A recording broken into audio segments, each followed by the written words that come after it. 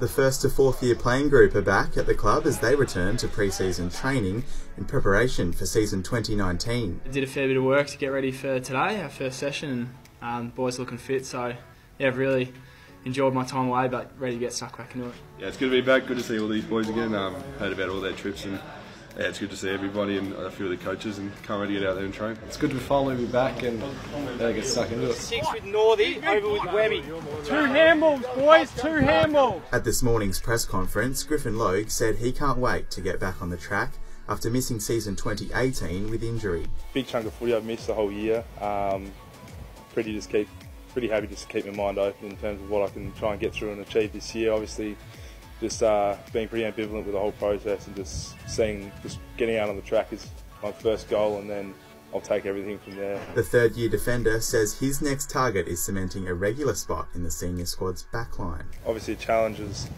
getting back on the field and then obviously breaking into the uh, the 22 that play each week. And the coach always kind of says that 44 blokes don't go into 22 as much as we all a team. Um, but it's just another challenge that I'm happy to kind of take um, full on and ready to give it a crack and really want to see how I go. Young gun Andrew Brayshaw says despite a rough start to the off season with a broken jaw, he's now feeling at the top of his game. It was pretty tough the first couple of weeks leading in to the off season. Uh, I had, had surgery and whatnot, but since then I've, I've been on the road to recovery and, and right now I'm feeling 100%.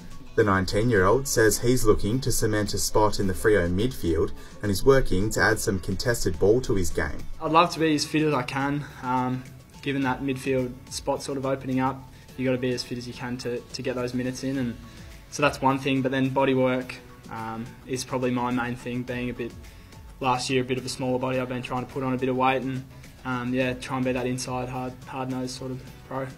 And it's been an impressive start for elite runner Stefan Giro, taking out the 2K time trial for the one to four year playing group. So it's good to get it out of the way, I guess. It's pretty nerve wracking at the start, so but good to get back into it. The speedy midfielder edged out Andrew Brayshaw with Ethan Hughes, Griffin Logue, and Sam Switkowski rounding out the top five.